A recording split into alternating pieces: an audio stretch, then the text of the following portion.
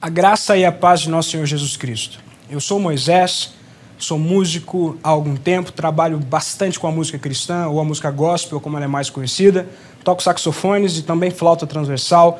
E trabalho com dois projetos hoje. Um chama-se Marcados por Deus e outro chama-se Aljava. É, eu toco desde os 14 anos de idade e estudo desde então e sou completamente apaixonado pelos instrumentos que eu toco.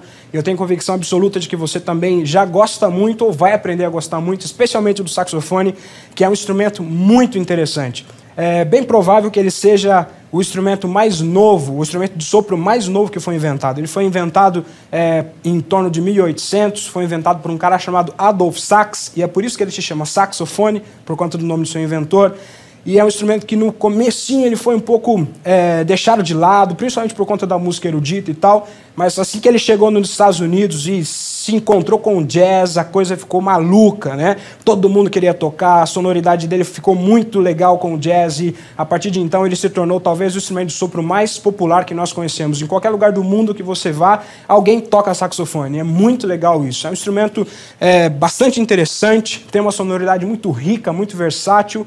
Algumas pessoas acreditam que é o instrumento que tem o timbre, o acordo do seu som mais parecido é, com a voz do ser humano, por isso que ele é um instrumento muito expressivo. Uma, da, uma das maiores dificuldades de se tocar o saxofone não é nem a parte técnica, a parte mecânica, que ele é um instrumento que foi projetado justamente para ser bem simples, mas a questão da expressão, os timbres, a sonoridade, escolher as cores do som que ele pode é, te dar, é, é, é, justamente aí que mora a dificuldade e é aí que muita gente acaba desistindo por não conseguir tirar um som legal do saxofone. É um instrumento muito tranquilo de se tocar, e eu tenho convicção absoluta de que, seguindo os conselhos que eu vou te dar hoje, você vai conseguir tocar com bastante liberdade, muita facilidade, ok?